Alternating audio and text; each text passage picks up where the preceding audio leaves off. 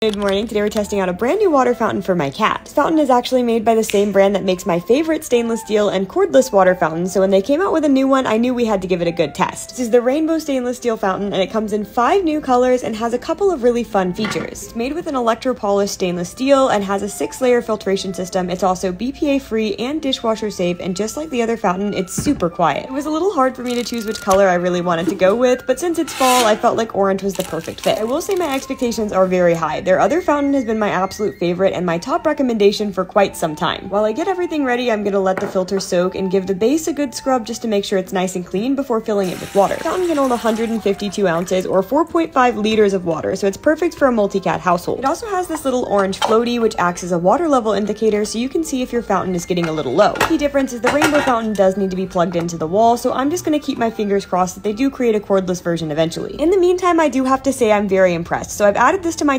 TikTok shop, but if you're shopping on their website, you can use our code HOOGIE20 to save $20 on your order.